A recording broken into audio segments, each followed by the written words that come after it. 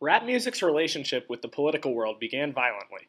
Combining the aggressive nature of hip hop music with the pent up frustration of its primarily urban African American artists, rap saw itself spreading a social message via the work of groups like NWA and Public Enemy.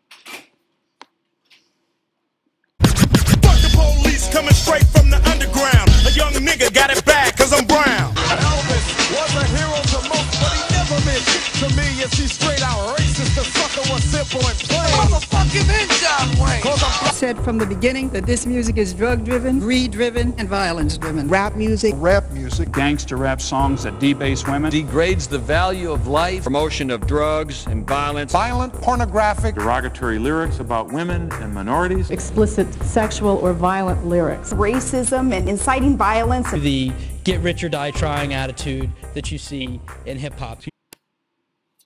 Throughout the 2000s, rap music and its relationship to political issues began to receive ridicule, perhaps as a result of its increasingly over the top and extravagant subject matter. For example, in 2008, Sean Puffy Combs launched his slightly overdramatic Vote or Die campaign. Puff Daddy? Your friend Kyle told me you don't understand the importance of voting. I. Apparently, you haven't heard of my Vote or Die campaign. Vote or die? What the hell does that even mean?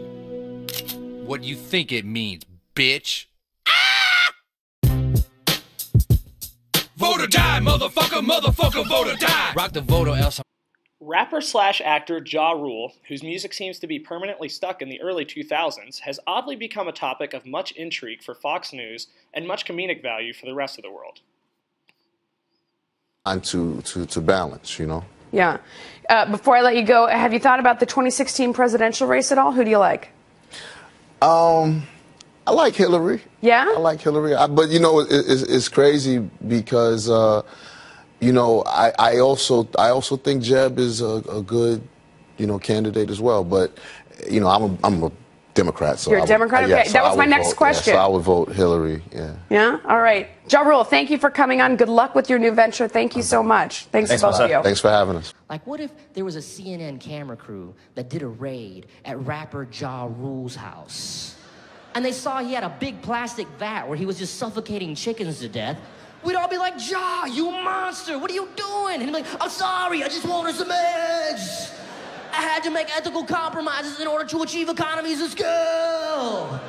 It's murder. I remember right around September 11th, uh, Ja Rule was on MTV. That's what they said. They said, we got Ja Rule on the phone.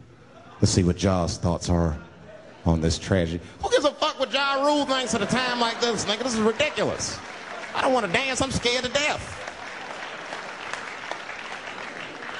I want some answers that Ja Rule might not have right now.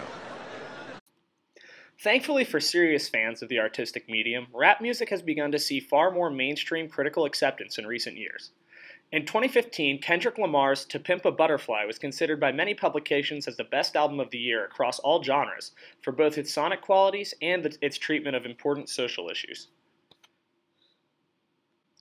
In 2016, rappers YG and Nipsey Hussle released their hit single, Fuck Donald Trump, which expands on the genre's violent past and serves an, as an expression of minority frustration towards Trump's political success.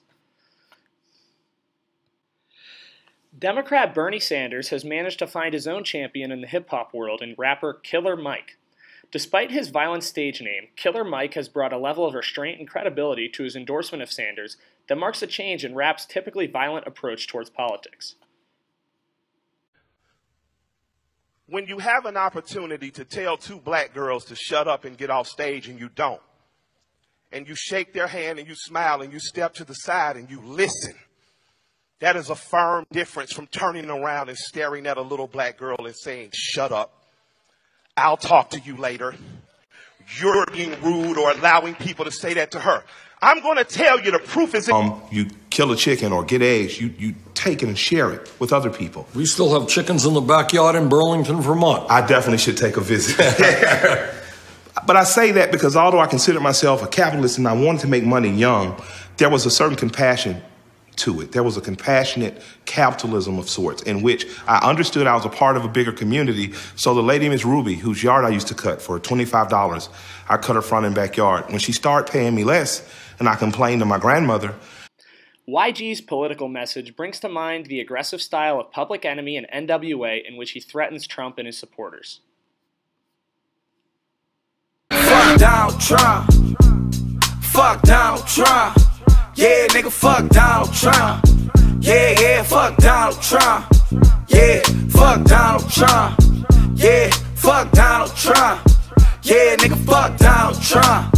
Yeah, yeah, fuck Donald Trump. Yeah. I like white folks, but I don't like you. All the niggas in the hood wanna fight you. Surprise El Chapo ain't tried to snipe you. Surprise the nation of Islam ain't tried to find you. Music, particularly rap music, has the ability to bring people together and unify them with a cohesive message. This primary shows us two different approaches to political leaders in the 2016 presidential primaries. Killer Mike's endorsement of Bernie Sanders can be seen as a watershed moment for civic engagement in the hip hop world. He has been described as an unofficial campaign manager for the Sanders campaign. While YG's music sticks to hip hop's roots, it calls into question the effectiveness of violence as a means of, of political activism, especially for a genre that has been marred by its violent past.